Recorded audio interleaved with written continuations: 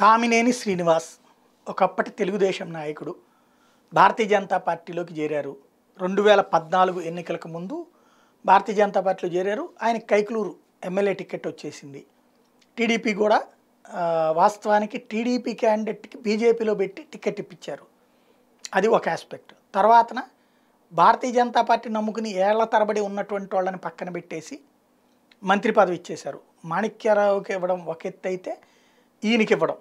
అక్కడ విష్ణుకుమార్ రాజు ఇటు పక్కన నలుగురు గెలిచినటువంటి సందర్భంలో ఒక్క ఇది ఇక్కడ ఈయనకి ఇవ్వడం అన్నటువంటిది. కావాలని చేసినటువంటి వ్యవహారమే.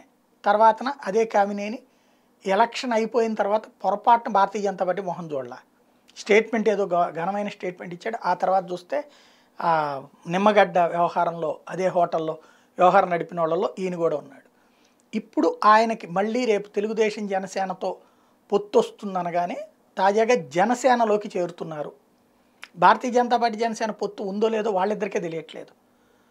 టీవీ డిబేట్లో మాత్రమే ఉంది. బయట ఎక్కడా లేదు. అది క కనబడుతున్న స్పష్టత ఇవ్వరు. అది అలాగే నడుస్తుంది. ఇప్పుడు జనసేనలోకి వెళ్తున్నారు. కైకలూరు టికెట్ జనసేన అడుగుతోంది. జనసేన తరపున ఈయన చేస్తారన్నటువంటి అంటే ఈయన కాకుండా వీళ్ళ కోడలు పోటీ చేస్తుంది. వాళ్ళ అమ్మాయి పోటీ చేస్తుంది అన్నటువంటి విషయం చెప్తున్నారు. కైకలూరులో చ- ప్రతి జనసేన నాయకుడు కార్యకర్తలతో టచ్లోనే ఉన్నారట. ఎవరికన్నా సమస్యల్లో ఉంటే సహకరిస్తారట. అత ఆయన పోటీ చేయరట. ఆయన కోడలు తోట వాళ్ళ అమ్మాయి అంట. ఆమె పోటీ చేసే అవకాశం ఉంది అన్నటువంటి మాట చెప్తా ఉన్నారు.